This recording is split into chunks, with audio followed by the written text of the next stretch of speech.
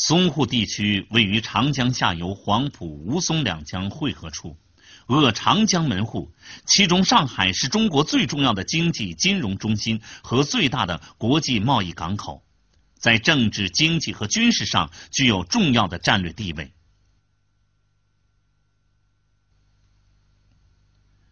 一九三七年八月九日十七时，日本海军陆战队中尉大山勇夫水兵斋藤耀藏驾车强行闯入上海虹桥机场，中国守军在劝告无效下被迫开枪将其击毙。驻沪日军则以此为借口，无理要求中国守军撤出上海，并以武力相要挟。在遭拒绝后，日军动员海军陆战队及日侨义勇团万余人紧急备战。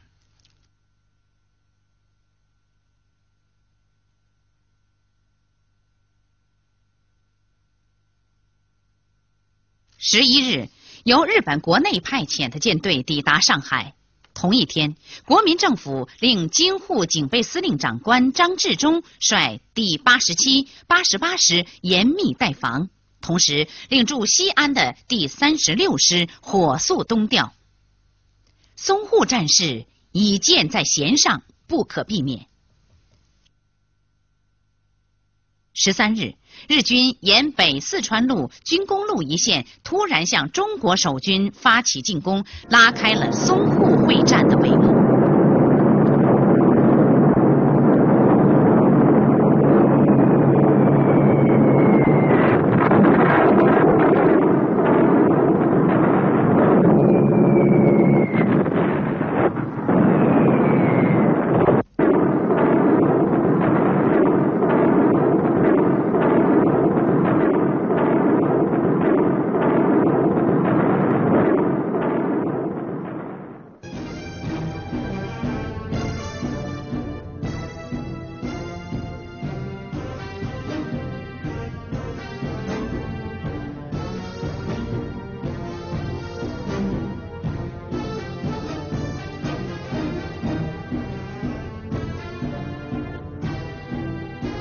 十四日，中国政府外交部发表自卫抗战声明，决心要以武力保卫国家的领土和主权。此时，中国军队已开始向日军发起反攻。当日下午，十八架日机空袭杭州剑桥机场。刚刚奉命从河南周口店紧急移防的中国空军第四大队二十七架战机，在大队长高志航的率领下，不顾飞机余油不多、气象条件恶劣，毅然起飞迎敌。高志航旗开得胜，击落日机一架，首开中国空战史击落敌机的先烈。在他的带领下，四大队的飞行员们奋勇争先，不到半个小时就又击落日机两架，击伤一架。日机被打得溃不成队，纷纷鼠窜逃命。中国空军无一伤亡，首战以三比零告胜。这就是中华民族抗日战争史上著名的八一四空战。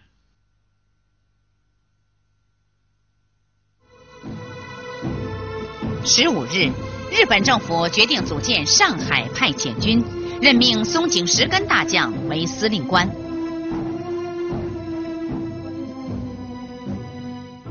十六日，国民党军第八十七、八十八师从两翼缩小对日军的包围圈，日军纷纷败退。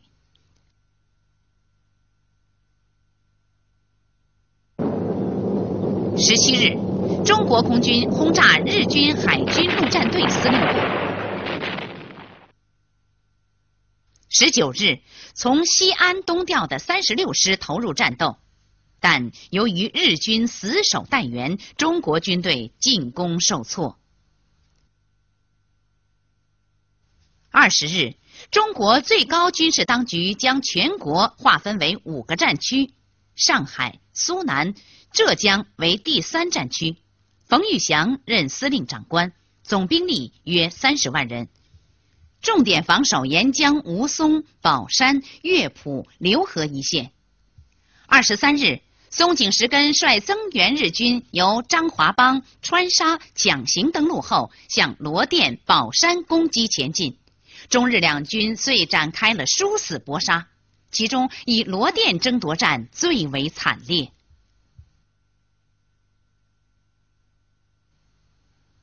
日军强大的炮火将小小的罗店化为一片焦土，中国守军众志成城，个个奋勇杀敌。双方不断增调援军，最终形成层层包围、阵地犬牙交错、短兵相接的焦灼事态。九月五日，日军改变战术，转而进攻宝山。日军用舰炮、飞机猛烈轰炸，并以战车攻击。守卫宝山的九十八师五八三团三营官兵，在营长姚子清率领下沉着应战，与日军展开巷战肉搏。激战两昼夜，终因弹尽粮绝，全部壮烈殉国，宝山失守。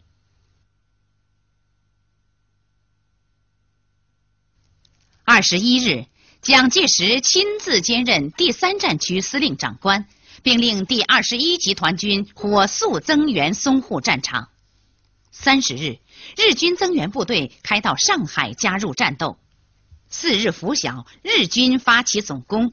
主力直指高桥和闵行，双方以大厂为中心，又展开激战。十月十五日，增援的二十一集团军到达前线，当即兵分三路实施反攻。但因日军海陆空全力反扑，中国守队粮弹补给十分困难，加之天气恶劣，连日阴雨，苦战到二十五日，三路攻击大军约三万人大部牺牲。大厂失陷，中国守军撤至苏州河南岸。撤退中，八十八师五二四团一营担任后卫，掩护主力后撤。面对满目的硝烟、焦土和战友的鲜血，团副谢晋元毅然受命，率余部四百五十名官兵，号称八百壮士，坚守在四行仓库，决心血战到底。四行仓库位于苏州河畔，是一座钢筋水泥七层高楼，墙厚楼高，易守难攻。八百壮士凭着满腔热血，孤军奋战了四昼夜，打退了日军多次进攻，毙伤日军二百多人。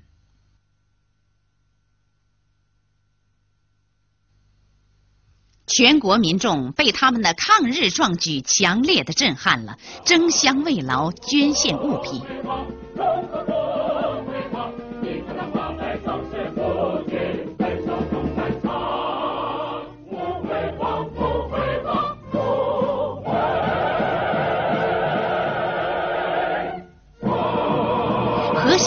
士称赞道：“殉国之将士将因为你们而愈伟大。”前线的将士将因为你们而愈英勇，全国同胞将因为你们而愈加团结，国际人士也将因为你们而愈加主张正义了。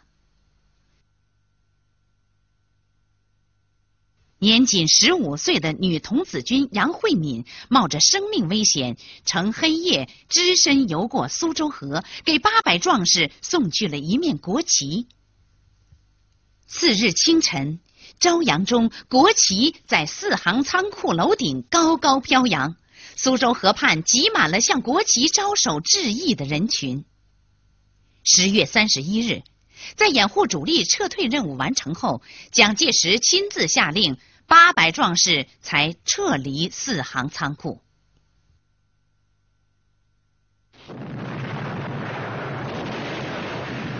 十一月五日。日军再次增兵，由金山卫登陆，向上海实施迂回包抄。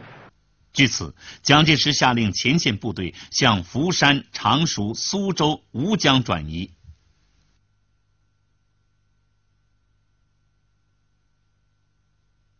十二日，日军占领上海，淞沪会战宣告结束。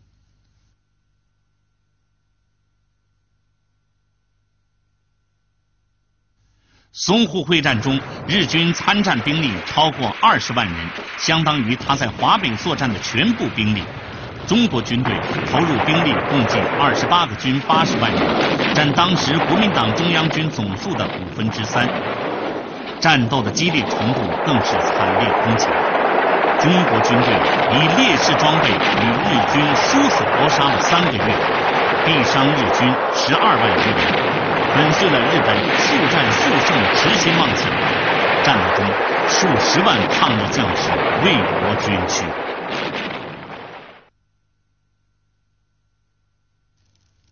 十一月二十四日，松井石根指挥日军七个师团，约二十万人，兵分两路向南京进击。北路四个师团沿太湖北岸沪宁铁路追击，南路三个师团沿太湖南岸宁杭公路追击。各路日军迅速突破芜湖、西城两道防线，如入无人之境般，相继占领无锡、常州、江阴、丹阳等地。早在二十日，国民政府见战局急转直下，南京危在旦夕，便宣布迁都重庆，任命唐生智为南京卫戍司令长官，指挥南京保卫战。十二月六日，日军进敌栖霞山、汤山，对南京形成三面包围。十日十三时，日军下达总攻南京的命令。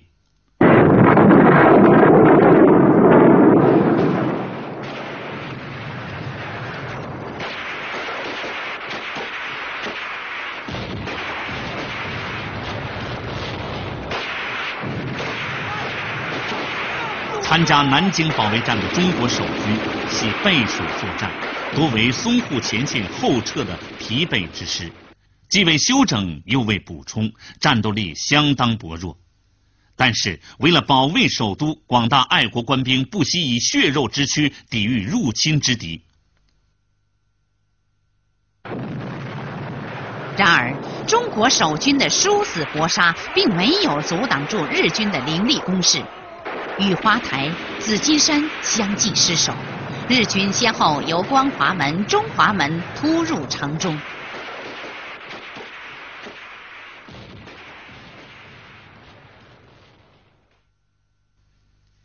一九三七年十二月十三日，中国近代史上最悲惨的一天到来了。